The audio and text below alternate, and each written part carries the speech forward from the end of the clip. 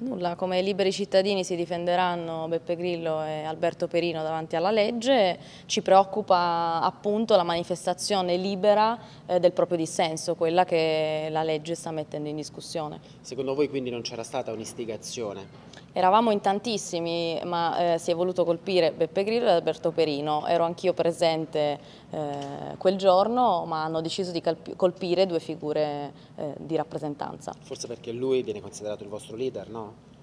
Era il 2010, eh, eravamo in tanti, ribadisco. Non, non, non, so perché, ma non hanno colpito tutti, ma solo, in, solo due.